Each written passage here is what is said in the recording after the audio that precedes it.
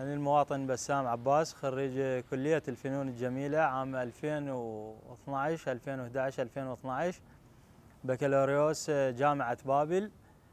أكملت دراسة الماجستير عام 2015 منذ نعومة أظفار وأنا أعمل في القطاع الخاص ولكن بعد الماجستير تحولت إلى أن أعمل في الحدادة. حتى أقدر أتمكن من العيش ومواكبة الحياة وأنا متزوج. ولدي طفلتين. طبعا مو بس أنا حامل شهادة عليا وياي زميلي دكتور سلام خريج إدارة واقتصاد دكتوراه إدارة واقتصاد. فاضطرينا نعمل سوية أنا ودكتور سلام لأن المجال القطاع العام مهمش الكفاءات بالنسبة للدولة دائما تنظر لنا بالتهميش. من المواطن سلام محمد حمزة ماجستير علوم اقتصادية.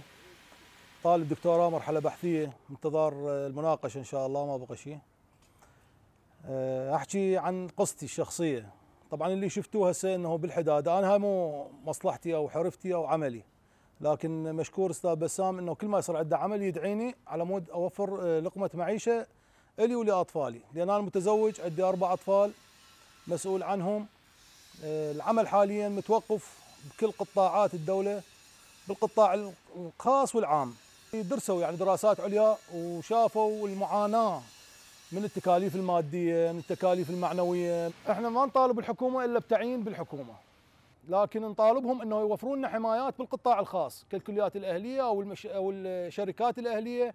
يقدمون لنا حماية يحمون مستقبلنا بها يوفرون لنا تقاعد بها مستقبلي. يحموننا من المستثمرين نفسهم اللي يبحثون عن المال قبل كل شيء.